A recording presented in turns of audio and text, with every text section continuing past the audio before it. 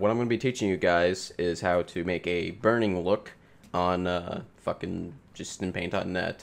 So, what we're going to be doing is we're going to be needing the colors red and yellow. You want to make it on a new layer. If you're doing this on like a texture, I'm meaning. Pretty much always do a new layer. There's no reason not to. You can just, uh, you can just merge it down with this button. So, here we go. So first off, we're going to use the red. This is going to be your actual like burn mark. So we're just going to kind of do something like this. It really doesn't matter what you make it because it's about to get destroyed. Next is the super easy part. You just kind of outline it with yellow. Now, this is where it gets friggin', you know, a little more complicated.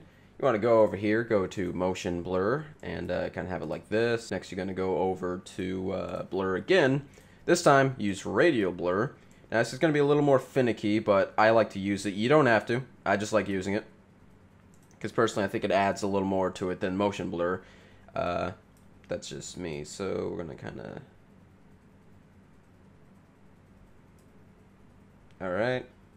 Set the quality to max. All right, we're almost done. Next thing, you want to go over to uh, sepia. That's gonna make it like this. Now I know it doesn't look like a burn mark. Double click on the layer you're on. Press on mode. You know, so this whole box comes up. Don't bother looking for it. Just press C once, and it's up. And there you go. Pretty much, you just got you just made a burn mark. Now, it doesn't look exactly the greatest, but you can kind of mess around with a couple of other things, which I'm going to do. Hue such saturation is always a great thing to do. Lowering or raising this can uh, change it up a bit. You can make it a little more reddish looking. You can darken it. You can brighten it. You can do a lot of things in here. So if you need to make some little more adjustments, you can do that. You can also change some colors if you want.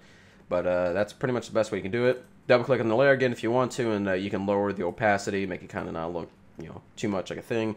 And uh, yeah it's pretty much pretty much it right there